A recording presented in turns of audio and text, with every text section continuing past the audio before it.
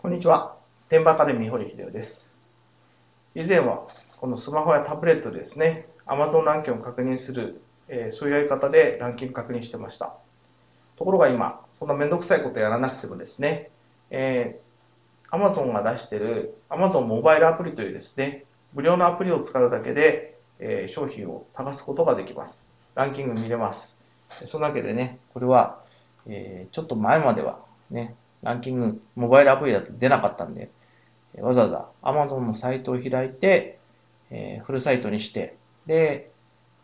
バーコードをね、えー、こう、ブルーコードバートゥースを入れたりとか、手打ちで商品名を入れたりしてやってましたけど、まあ、そういうしんどいことやらなくても、えー、簡単に、えー、Amazon モバイルアプリでカメラ機能を使ってね、バーコードや商品をピッと、ね、検索するだけで商品が探せるようになりました。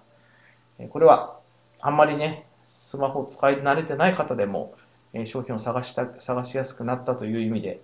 え、きちんとどこに行ってどういう商品を探すっていうのが分かるとですね、え、パソコン苦手でも、えスマホ苦手でも、え商品が探せます。えちょっとの練習でザクザク見つかるようになりますんでね、えまだうまくできない方は、えー、ぜひご相談ください。